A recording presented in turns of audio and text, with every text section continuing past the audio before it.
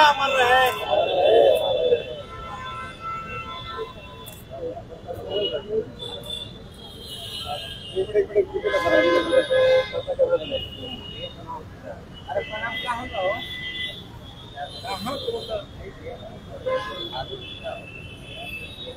आज स्थापना दिवस के अवसर पर सांची के बिरसा मुंडा प्रतिमा स्थल से ये लाइव तस्वीर मैं आपको दिखा रहा हूँ, जहाँ आज पूर्वी के विधायक सरयू राय बिरसा मुंडा की प्रतिमा पर माल्यार्पण करने के लिए पहुँचे हैं। और जैसा कि आपको मालूम है कि तेईस साल हो गए हैं झारखंड को बने हुए। आज 15 नवंबर झारखंड की स्थापना दिवस और बिरसा मुंडा को याद किया जा रहा है। इस अवसर पर विधायक सरयू राय यहाँ पहुँचे हैं और उनसे बात करके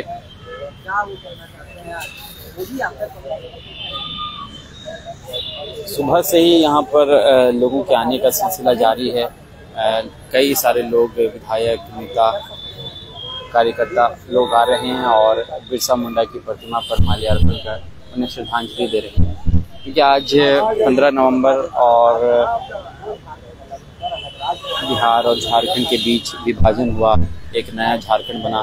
जिस झारखंड को बनाने के लिए कई लोगों ने कई आंदोलनकारियों ने आंदोलन किया, लड़ाई लड़ी, तब जाकर ये एक नया झारखंड बना। लेकिन कहीं ना कहीं एक सवाल सबसे बड़ा ये होता है कि जिस झारखंड को बनाने में झारखंड के वीर शहीदों ने, आंदोलनकारियों ने अपना बलिदान दिया, लड़ाई लड़ी, क्या वो झारखंड असल में अभी भी उस तरह का हुआ? और यहाँ जो लोग रहते हैं, यहाँ जो आबादी रहती है, क्या उन लोगों को न्याय मिल सका? क्या वो लोग आगे बढ़ सके, झारखंड का विकास हो सका, या फिर झारखंड का विनाशी हुआ है, झारखंड को बर्बाद करने के पीछे कौन लोग हैं?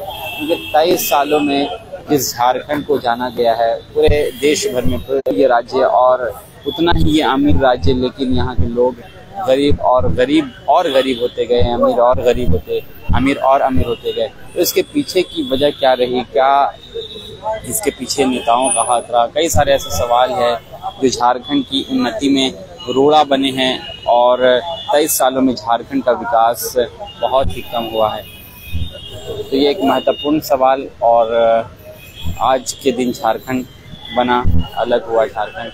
और विधायक सरयू राय है हमारे साथ हैं उनसे बात करेंगे और जानते हैं। सर आज धरती आबा की जन्मदिन और झारखंड एक नया झारखंड बना, एक नए झारखंड का संकल्प जो लिया गया था। लेकिन सर, एक सवाल सबसे बड़ा ये है कि जिस झारखंड को बनाने में झारखंड के वीर शहीदों ने, आंदोलनकारियों ने अपना बलिदान दिया, लड़ाई लड़ी, क्या इस तेईस साल में झारखंड का विकास हो सका है? देखिए, झारखंड का विकास तेईस साल में नहीं हुआ है, ये कहना बेमानी है। हाँ ये कह सकते हैं कि जितना होना चाहिए, उतना नहीं हुआ है, जिस प्रकार से होना चाहिए, उस प्रकार से नहीं हुआ है। आज तो पहली बार इस देश के प्रधानमंत्री भगवान बिरसा मुंडा के जन्म स्थान पर जा रहे हैं। और पूरे देश में जनजातीय गौरव दिवस के रूप में भगवान बिरसा मुंडा के जन्मदिन को मनाने का उन्होंने आह्वान किया है। और सबसे खूबसूरत पहलू इसका यह है कि इस राज्य के मुख्यमंत्री ने भी तमाम मतभेदों को भुलाकर प्रधानमंत्री का स्वागत किया है। अपने राज्य के लिए और भी बहुत सारी चीज़ों को मांगा है उन, उनसे उन्होंने। तो प्रधानमंत्री, मुख्यमंत्री सभी दल राजनीति को भूलकर कम से कम आज के दिन संकल्प लें कि हम झारखंड का विकास सही दिशा में करेंगे, समावेशी दिशा में करेंगे, जो भी झारखंड में रह रहा है, सब झारखंडी है ये मानकर सबके लिए नीतियाँ बनाएँगे, झारखंड तेज़ी से आगे बढ़ेगा।